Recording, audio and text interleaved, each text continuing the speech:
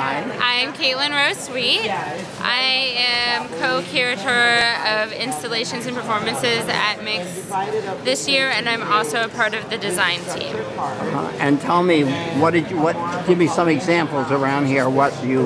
Well, what I've done, um, well, I helped curate the installations, which we're not currently in front of any of them, but we have 13 artists that um, install different pieces throughout And how do you get those artists? Well, um, Mix has an open call, um, so anyone can submit, and that basically it has to have some kind of um, experimental and avant-garde use of media in it, and otherwise it's And how many applications do you get?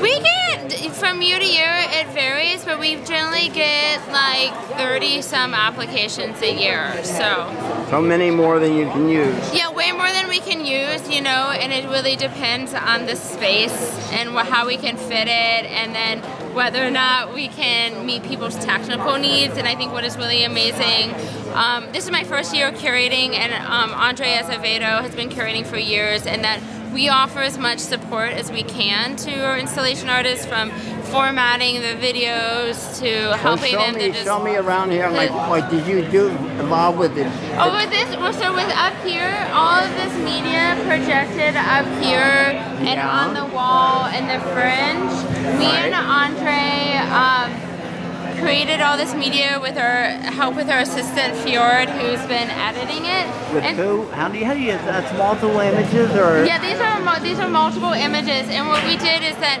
we had a call out in our community for people to come. Um, and they basically dripped and drooled and smeared gold glitter and honey all over themselves. And how do you get me? You want to tell me? Is there any any any different techniques used? I don't know anything about creating anything. Well, it's this- very impressive to look at. Yes, well then we, um, via After Effects, um, created these kind of kaleidoscope um, abstractions. Now is that is that something done with lenses or? Oh, no, no, this is all in digital editing. So Uh-huh. we digitally altered the material. Now are they tapes that play over and over, or the, random the, images? The, loops. So there's a series of loops, and then every day we are editing new ones and how um, long do they play? Like how long will one of these sets of Each- images play before one- repeating? It's like they're short loops, so like a minute or two that just comes through loops. Um, and then you can come through. Is there any reason why? I mean, these are all like shaped like cathedrals. Well, um, just? this year Diego, the head designer, came up with the concept of turning Mix into a queer beehive cathedral, kind of the most opulent celebration of queer collectivity that we could think of. And so, And how about these things like the doorways with the orange? Uh, what do you call it? yeah, so this is kind of a cathedral wall, and then the, we had an army of volunteers help us hand An army. How many are in the army? We, you know, sometimes we would have over 40 volunteers a day um, coming in and cutting paper, folding it, gluing it, constructing Hive. It's really an amazing process to watch Mix happen because it's pretty much 95% volunteers coming in to create a space for queers and to what gather. period of time do you have to work in? We had um, just like about two weeks to put it all together. So we come into the space, we had to build rooms, we had to build a screening room, we had to build an annex, um, and so we were just kind of working around the clock to, to make this happen. Uh, now what? Now we have up here these four, and how about over the door have here? this one, Yeah, that is the, over the theater entrance. yeah, and then we also have these fringes that have media on them as Now, well. now is that done with projection? yeah, this is all projection. This where are they projected from? Because I have no idea. From across the room, right over there. Oh, uh huh. Um, and then we have, this is an installation. We have an installation over there and over there. Do you want to tell me anything about any of the installations we- that we- are? We should look over at this one. This one will be a fun one. This is an LA artist. Um, The name? his name is Joe. I cannot remember his last name at the right now. Joe Okay. Merrill. Yes, And this then- is 3D, a 3D. This is a 3D. Um, he described it as a uh, Satanist cartoon. So It's a what? Satanist cartoon. Oh, so someone told me it was uh, magic. Yeah, look, it's witchcraft. Oh. I wish I wish I Isn't isn't 3D right now. isn't 3D hard to work with? I didn't know many people work with with, with 3D these days. Yeah, I think maybe 3D's uh, having a comeback.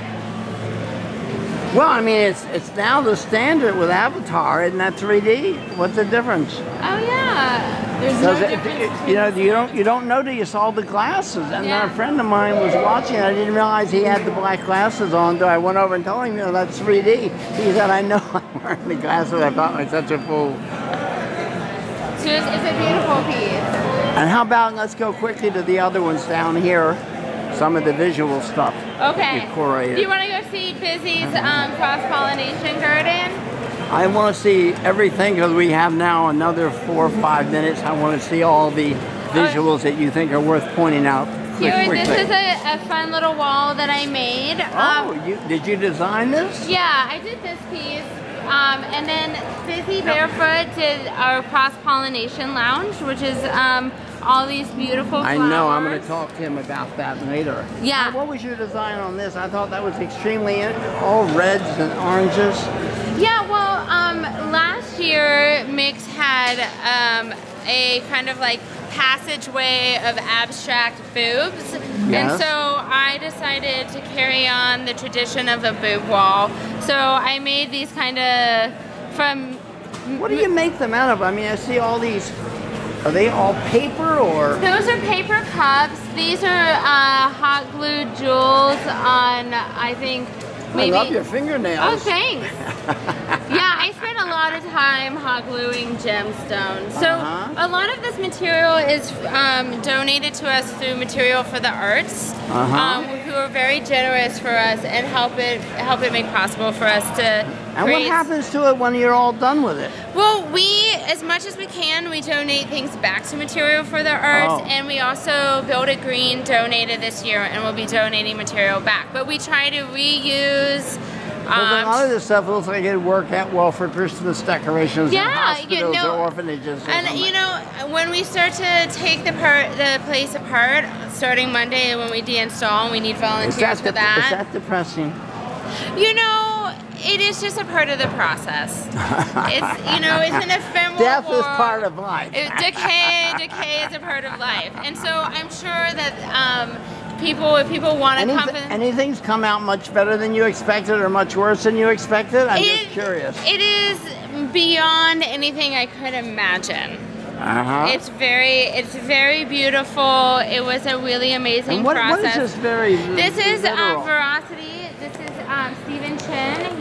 Here from Canada. Um, Yes. And so this is a multi-channel video Yeah. talking about landscape and violence, and those are all places um, that had like hate crimes against queer people reported. Oh. So it is kind of just this mapping out landscape and that kind of queer experience. Oh, so wow. It's a little bit of a, a I didn't- heavier I, I, I didn't see that. I saw the images and I didn't know exactly what, you know, you have to study some of this to know what it's about. Yes.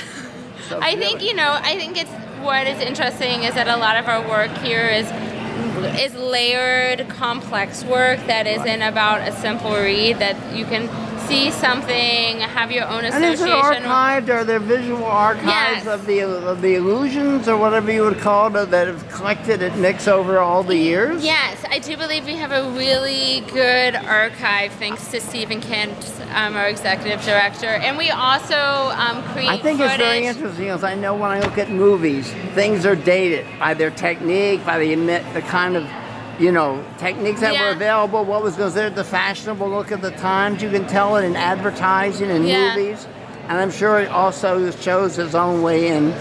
Because I saw some of the trailers from they had a whole series oh, of trailers. oh, I love the old trailers. Yeah, I do yeah. too. I mean, it's it, it is a funny thing to think that like you know who knows what will be the telling aesthetic of our time and it's like not really for us to know You mean the there's time. an Andy Warhol starving to death right here? I'm sure we are in or New Van York. Gogh with no Yes, ear and no I- rent and I'm no sh- food I'm who's going to sure. die starving and then be discovered and be worth millions.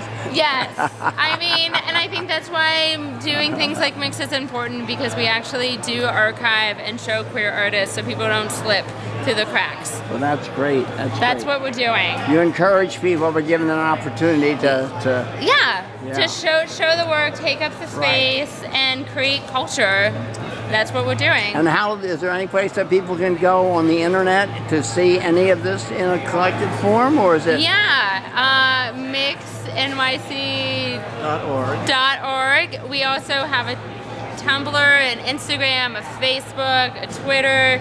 Just Google. I haven't us. gone to Instagram yet. Yeah. It's one that one that's a lot bigger than the other. I mean, MySpace at one point was big, and it's still as big with musicians, I believe. I mean, Really? That's what I understand. The only people I know that use it still. I mean, no one, everyone else is on Facebook, but Yeah, some everybody's musicians. on Facebook. Um, yeah, well, we are Mixfest at Mixfest on Instagram. Um, so that's you can find us. But yeah, we have a strong presence, and we're definitely we've been written up a couple times already, and have lots of people reviewing the work. So Well, great. I look forward to seeing more of that. Okay. Thank you very, very much. You're welcome.